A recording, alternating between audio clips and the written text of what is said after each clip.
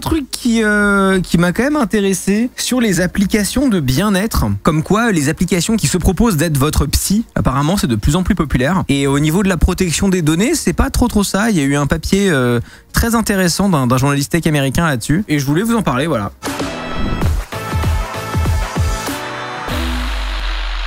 Est-ce que vous avez déjà utilisé ces applications un peu euh, bien-être, euh, mes couilles, tout ça? Les applications de méditation, c'est considéré comme app bien-être? Oui, tout à fait, oui. Enfin, moi, c'est des applis que je mettrais dans la catégorie bien-être, ouais. J'étais utilisateur, mais j'ai rapidement arrêté quand j'avais peur pour mes données personnelles, ouais, je comprends. Bah, les apps de bien-être, disons que c'est toutes les apps de santé mentale. Genre, euh, attendez, je vais vous montrer une démo, juste qu'on voit de quoi on parle. Puis après, je vais vous montrer l'article. On va regarder la vidéo de démo.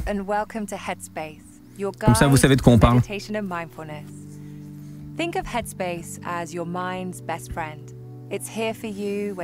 C'est un truc de méditation, tu vois. Le dessert. sound. Simer Pheno 30, effectivement. Merci SFR les kebabiers. 30 pour ton sub. SFR les Merci kebabiers beaucoup. rire aux larmes. resilient during tough times. There are many ways to use Headspace, and all Bon, moi, ces applications, ça marche pas sur moi, ça m'énerve. Dire que vraiment, euh, j'y arrive pas. Je comprends que ça marche sur des gens, c'est pas du tout en mode c'est de la merde et tout machin, nan, mais moi, je, à titre purement personnel, c'est impossible. Je suis trop nerveux pour ces conneries.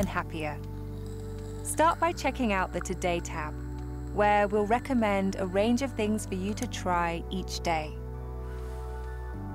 Meditation is what we're known for, and there are hundreds to choose from.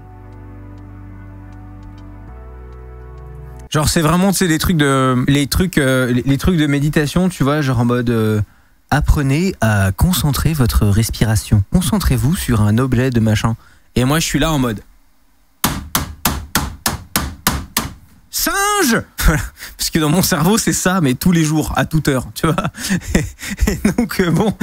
Even sessions for when you're short on time. You can search for a meditation that fits your mood, or start with the basics course. It's great for beginners. Mais voilà, rien que sa voix m'énerve en fait, pas. It's time for Comment vous faites sans déconner? J'utilisais une app pour traquer mes migraines, je mettais ce que j'avais mangé avant, si j'avais bien dormi ou si j'avais mal à la tête. Après, on n'est pas dans le côté bien-être, mais plus qu- quantified self. En vrai, je le mettrais dans la houlette bien-être généraliste, hein, je pense. hein. just click the little moon and head to the sleep tab. You can relax your mind with a wind down exercise before drifting off to a soothing sleep. Mais je suis trop un singe pour ça, moi. Enfin voilà. Et donc on a eu, euh, on a eu une, euh, un report assez intéressant, euh, pas de n'importe qui, de la fondation Mozilla. Donc la, la fondation Mozilla qui sont plus connus comme étant les éditeurs de Firefox. Pour être tout à fait honnête avec vous, je suis pas toujours d'accord avec toutes les conditions de les, conclusions de la fondation Mozilla. Je trouve que sur certains sujets, ils sont extrêmement arriérés. Euh, et je suis pas du tout d'accord avec eux. Mais euh, quand ils parlent de vie privée, etc., ils sont quand même vachement intéressants. Donc voilà, bon, faut, les écouter quand même, c'est intéressant. Bon, l'article nous vient de The Verge, comme d'hab, hein, c'est vraiment mon site tech préféré, hein, c'est c'est le classico. Euh, qui nous apprend que, en tant que catégorie, les applications de santé mentale ont les pires protections euh, de la vie privée pour les utilisateurs par rapport à toutes les autres catégories d'applications mobiles. Vous saviez ça? Apparemment, la deuxième catégorie avec les pires, euh, les pires politiques de vie privée, c'est les applications de prière, donc tout ce qui est religieux, quoi. Ce qui est très peu étonnant, mais euh, mais c'est marrant de le voir, quoi. Euh, donc la, grande majorité des applications de santé mentale et de prière sont extrêmement glauques, nous dit Jen Caltridge, euh, pardon euh, euh, de, de, de, de la fondation Mozilla qui travaille sur le projet Privacy Not Included, euh, qui est en gros un guide qui euh, vous aide à repérer les applications qui respectent votre vie privée ou non. Et puis là, ça nous explique du coup quelle application fait quoi. Alors on va aller sur le site directement de Mozilla, parce que ça c'est l'article, c'est un exerpe. Et directement, hop là, sur le euh, site de Mozilla, on peut voir quelles applications sont ou non recommandées. Et on peut voir pourquoi. Donc vous voyez toutes ces applications là, c'est des applications qui sont soit santé mentale, soit euh, religieux et qui apparemment ne euh, respectent pas très bien la vie privée. Alors ce qui est emmerdant, c'est que quand c'est euh, des trucs qui touchent à des sujets aussi personnels que euh, la santé mentale euh, et la religion, bah ça fait chier quand même. Surtout que là, je je connaissais pas, mais il y a une application qui s'appelle Pride Counseling. Casse les couilles un peu si ça respecte pas la vie privée. Alors par exemple, Pride Counseling, c'est une application qui est gérée par BetterHelp. Alors BetterHelp, pareil, il y avait eu un gros scandale autour de cette application aux États-Unis. Euh, c'est une application qui veut entre guillemets remplacer les psychologues. C'est une sorte de psychologue virtuel. Donc euh, voilà, autant vous dire à quel point c'est assez glauque. Et l'idée, c'est que euh, donc Pride Counseling, c'est un peu pareil comme BetterHelp, ça te met en relation avec un thérapeute à distance. Pour parler de trucs LGBT particulièrement, ok. Alors qu'est-ce qui se passe de glauque là-dessus? Euh, L'application est gérée par BetterHelp, donc on a les mêmes questions de vie privée qu'avec euh, l'application de base, ok. Euh, pa, pa. Pride Counseling ne spécifie pas dans leur, euh, dans leur politique de vie privée qu'ils ne vendent pas vos données. C'est vrai que ce serait pas mal si c'était clair. Ils ne mentionnent pas de des trucs importants comme est-ce qu'ils collectent des informations de localisation, combien de temps ils gardent vos données?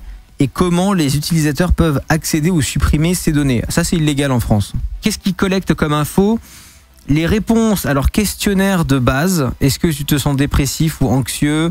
Est-ce que tu as du mal à maintenir des relations avec les autres? Des choses comme ton nom, ton âge, ton adresse email et ton numéro de téléphone.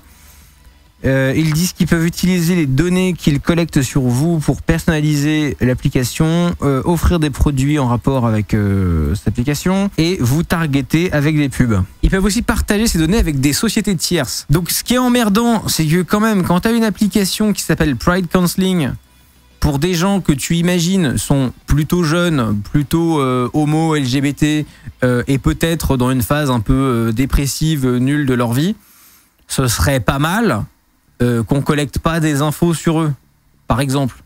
Comme par exemple une base de données avec leur nom, leur numéro de téléphone et leur email, par exemple. Parce que vous vous dites peut-être, oui, mais bon, c'est pas très grave et tout machin. Là où c'est plus compliqué, c'est que qu'est-ce qui se passe le jour où cette application se fait pirater en fait?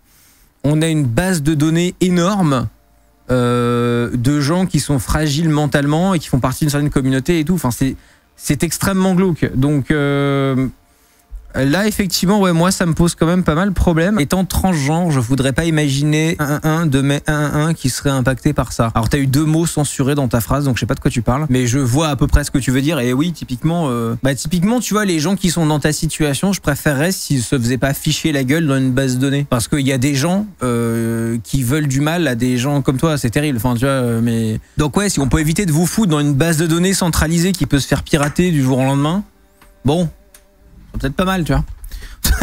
non mais enfin, c'est quand même dangereux quoi. On joue avec des trucs euh, parce que bon là, euh, en fait, je suis désolé, je prends toujours le, le même exemple parce que en fait, l'homosexualité pour moi c'est un sujet qui est un parfait exemple de la protection de la vie privée parce que on a malheureusement on a des exemples dans le monde qui sont gravissimes et du coup ça met un peu la réalité en face des gens très facilement. Il y a encore beaucoup de pays dans le monde où si t'es homo, euh, tu te fais taper dessus. C'est une réalité, tu vois. Euh, ça existe en fait. Il y a des gens euh, qui ont peur euh, de sortir avec leurs copains dans la rue parce que sinon ils se font taper dessus. Et encore taper dessus, t'es gentil. Oui, je fais l'exemple. On va pas non plus citer toutes les horreurs, tu vois. et donc, en fait, pour moi, c'est le meilleur exemple de protection de la vie privée, en fait. Parce que bah, quand tu es en danger de te faire taper dessus, euh, bah, le fait de te mettre dans une base de données de facto te met en danger en fait. C'est pour ça que c'est hyper grave. Et donc c'est l'exemple parfait malheureusement quoi. Il n'y a pas des régulations, il y a des régulations mais elles sont très difficilement applicables et, euh, elles sont très complexes. Ça s'appelle le RGPD mais la plupart se torchent avec. Et oui, et pour être honnête, du point de vue entreprise, le RGPD c'est de la merde. Vraiment. Dire quand t'es une petite boîte, mettre en place le RGPD, c'est incroyablement difficile. C'est extrêmement peu adapté aux, usages innovants. Mais comme, comme d'habitude, la régulation est stupide et mal applicable, comme toutes les régulations depuis l'histoire du début de l'humanité. Bienvenue dans le monde. Tu vois, bon, c'est- toujours pareil depuis tout le temps. euh, c'est mon application calculatrice se met à jour tous les mois et me demande ma localisation GPS. Mais ça, c'est normal c'est parce qu'il n'y a pas suffisamment de monde sur cette terre qu'on- à qui on dit qu'il faut qu'ils aillent se faire enculer en fait. Et ça, c'est une conséquence directe, c'est très grave. C'est très très grave. Quand tu fais une application GPS, une application de calculatrice et que tu demandes les coordonnées GPS des gens, quelqu'un quelque part doit te mettre une mandale. Tu vois, ça doit à un moment donné, faut revenir, à faut sortir du métaverse, faut revenir dans le physique. Il y a quelqu'un quelque part qui doit te jeter un parpaing au visage. Et parce que c'est pas fait, on se retrouve dans ces situations. C'est terrible. Enfin voilà, écoutez, vous, vous en savez plus là-dessus. C'est une des raisons qui m'ont fait acheter Apple. Bah, Apple est un peu le meilleur des GAFA, je suis assez d'accord. Je pense que si les gens étaient un peu plus impliqués sur ce sujet, ça se passerait mieux. Ouais, mais on commence à avoir pas mal de. Quand même, ça commence à faire pas mal de bruit, les sujets, euh, les sujets de vie privée, c'est cool. hein. En tout cas, ça commence à devenir un, un sujet, ce qui n'était pas euh, il y a pas si longtemps. Quoi. Mon appli caisse d'épargne a accès à ma caméra, j'ai jamais compris pourquoi. Ça se trouve, mon banquier me voit cuisiner du poulet en douce. Ah, ça, ça me choque pas forcément parce que ça peut être pour scanner. euh, euh, je sais que ma banque, par exemple, me permet de scanner des chèques à distance. Donc ça peut être pour ça, tu vois. El Famoso, j'ai rien à cacher, je l'entends encore beaucoup trop souvent alors que je suis entouré de personnes qui s'y connaissent en tech. En vrai, c'est flippant. Ouais, moi j'ai arrêté d'être choqué par ça. Moi, en fait, mais après, j'avoue que je suis aussi, euh, j'ai aussi énormément de chance d'être à un point de ma vie et de ma carrière où les gens ont plus besoin de me contacter que moi j'ai besoin de contacter des gens. C'est réel. hein. Ça change tout en fait. Parce que moi, je peux très bien dire, bah, en fait, moi, si vous voulez me joindre, c'est sur Signal. Euh, sinon, je suis injoignable. Voilà. Merdez-vous avec ça. Et euh, si vous pensez que vous avez rien à cacher et tout, cool, c'est votre vie, soyez à poil, il a aucun problème. Euh, En tout cas, moi, si vous voulez me parler, ce sera sur Signal, et sinon, vous me parlerez juste pas, en fait. Fin de l'histoire. Et euh, c'est génial. Mais je suis bien au courant que la plupart des gens n'ont pas ce luxe. hein. Mais je suis très très heureux d'avoir ce luxe. Franchement, avec toutes les apps préinstallées, nos infos sont déjà vendues. Bah, ça dépend à quel moment, en fait quand tu quand tu chattes avec des gens sur euh, sur Facebook Messenger, euh, tu transmets tes données sur le temps long. Mais Facebook Messenger, c'est vraiment grave. hein. Vraiment, moi, ça me sidère de voir encore des gens utiliser ce truc-là. Encore pire, des gens. Franchement, imaginez, vous voulez un niveau d'angoisse supplémentaire, peut-être qu'il y a des gens dans le chat qui l'ont déjà. Attendez. Euh, Attendez, je vais vous choper en flag. Vous êtes prêts?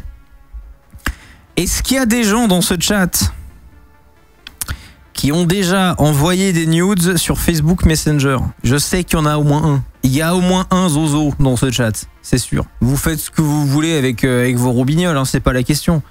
La question, c'est que vos roubignoles ne, concer- ne concernent que vous et la personne qui les partage avec vous et pas Mark Zuckerberg. C'est ça la question. c'est, voilà quoi. Mais ouais, non, c'est, c'est vraiment terrible. hein. Les gens, ils s'envoient des trucs ultra privés sur Facebook Messenger et je suis là, j'en mets. J'en ai déjà envoyé par Gmail. Mais qui fait. Attends, quoi?